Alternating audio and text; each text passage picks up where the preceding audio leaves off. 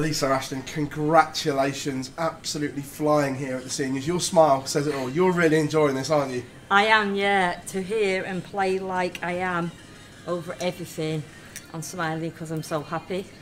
Look, the 18 months you've been through, we all know you've had health issues and everything like that. How nice and pleasing is it to come out the other side and you're starting to flourish again? Definitely, yeah. All they can do is encourage me what I'm doing and I'm relieved of everything. But yeah, I'm happy to just do what I'm doing. I'm, I can't believe it, yeah. During the last 12 months, especially when you haven't hit the heights that we know you're capable of, how frustrating is for that yourself? It's been so hard because you've always got pressure and everybody expects you to do what you do. I try my best and I've struggled, but now hopefully after everything and I get fully fit, I can hit the heights I have done. Into the final day of action here, are you now daring to dream of adding that seniors title to the other four stars that you've got? Right, no pressure. but no, you've got to. You, you ain't coming here for nothing. But no, I'm going to do every game as it is, and hopefully I can keep going. And fingers crossed, you never know. When you look back to Lakeside even this year to where you are now, it's been a massive jump because did Lakeside come maybe a little bit too soon in that healing and recovery process?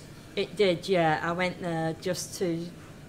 Probably thing is just win a game, just to see what I can do after what I've been through. So yeah, uh, to come here and, and what I've done, I can't rest anything better. I'm so delighted what I'm doing. And looking ahead to the rest of the year, obviously the women's game in particular, you've got um, the match play on, on the horizon, getting back to Alexandra Palace. You must be excited by the opportunities now for 2024. Yeah, definitely. I had to miss the last women's series. I was nearly there. But yeah, uh, it was a massive de decision with my family, my management. I had to have it done personally. But yeah, I know after taking this weekend, I'm getting there. So yeah, I'm set my heights on for the everything what's coming forward.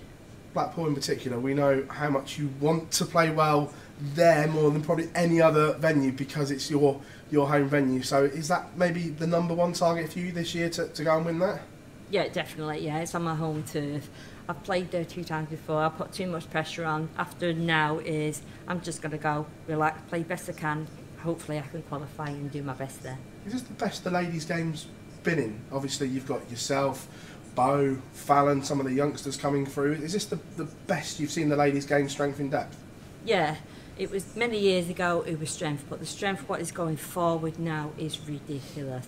Beau's hitting everything. We have to raise our game to it ball now. And the, the, the youth are coming through. It, it's scary, but it's brilliant because we keep pushing and hopefully we all keep doing what we can do. Lisa, thank you very much. Thank you. Lisa, in terms of wins on TV in recent years, that's got to be right up there, isn't it? Definitely, yeah. I haven't done that for quite a while. It took me a long time to get a, a PDC women's title, but yeah, after what I've gone through, absolutely. Um, my uh, confidence is, is growing all the time, so I can't ask for anything better. You looks really relaxed up there. How comfortable are you feeling on that stage?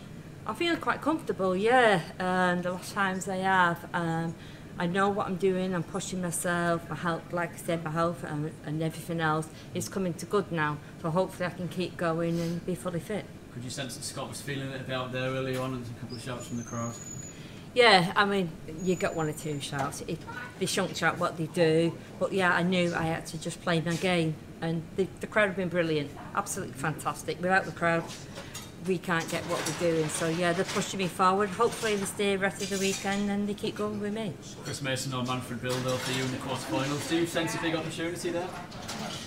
It's every game's a tough game.